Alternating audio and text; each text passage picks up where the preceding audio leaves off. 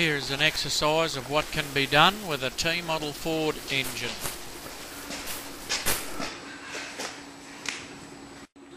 Now with the bonnet up we can see that it's only half of a T-model Ford engine.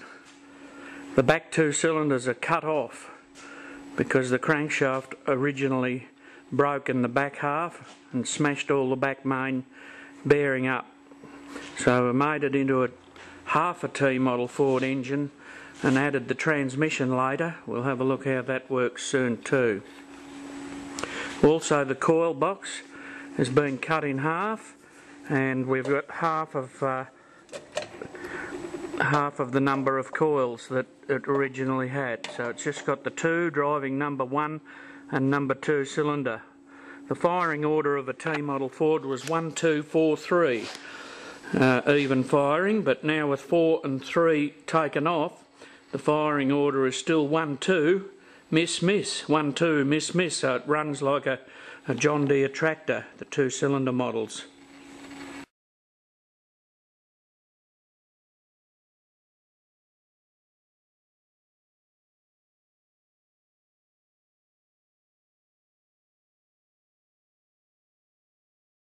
Okay, we'll now start the engine up, switch the coil on, choke it,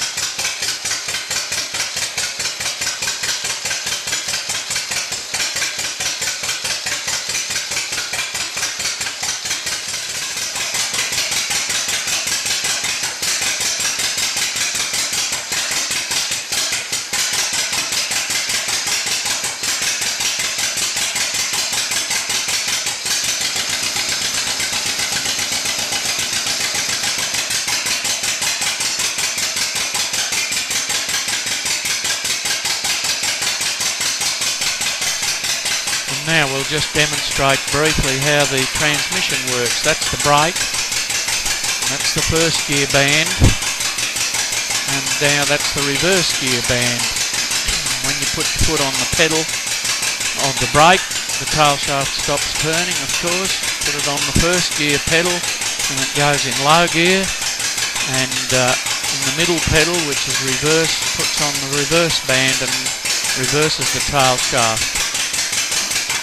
The top gear, the clutch is just engaged and the uh, tail shaft spins then at the same speed as the motor.